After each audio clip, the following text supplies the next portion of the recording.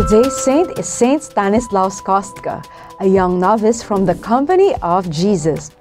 Who are this Company of Jesus? Oh, you know them so well. Yes, the Jesuits. They call themselves with that name too.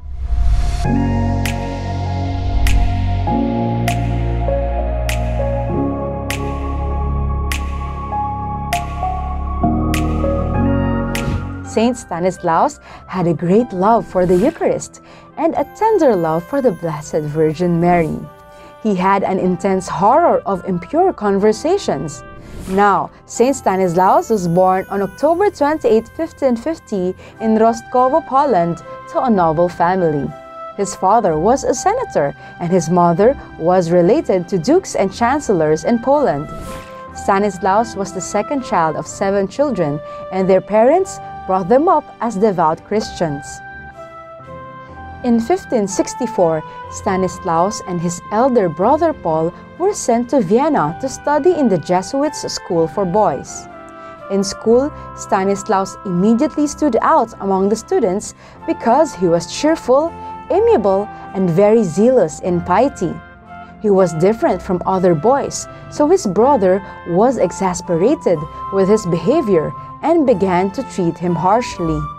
One evening, when Paul found Stanislaus praying, he gave him severe blows, to which Stanislaus reacted and told him strongly that he would go away and never to return.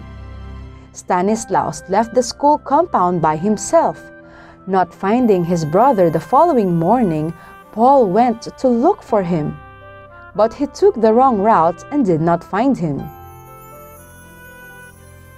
Earlier, Stanislaus was already contemplating to join the Jesuit novitiate.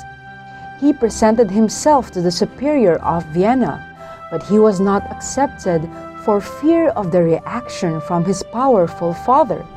So he decided to go to Rome walking.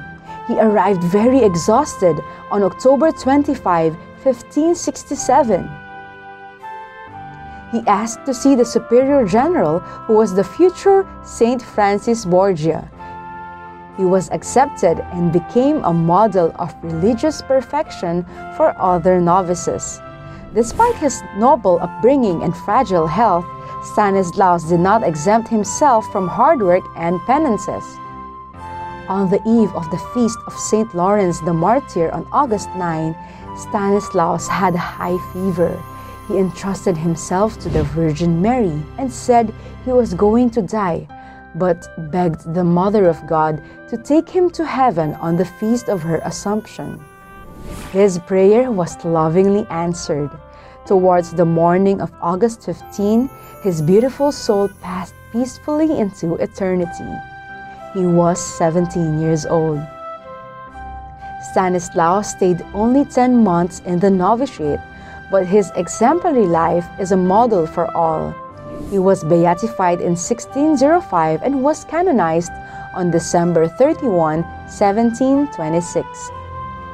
He is the patron saint of students, people with heart palpitation, and patron of Jesuit novices. Dear Saint Stanislaus, teach us like thee to shrink from sin like thee to love sweet purity, that we from Mary's heart may win the love she once bestowed on thee.